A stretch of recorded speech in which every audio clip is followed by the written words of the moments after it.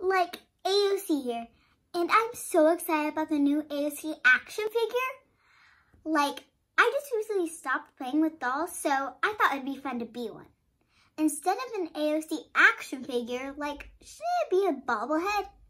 Nancy Pelosi cast a spell on it, and she's using it as a voodoo doll. OMG!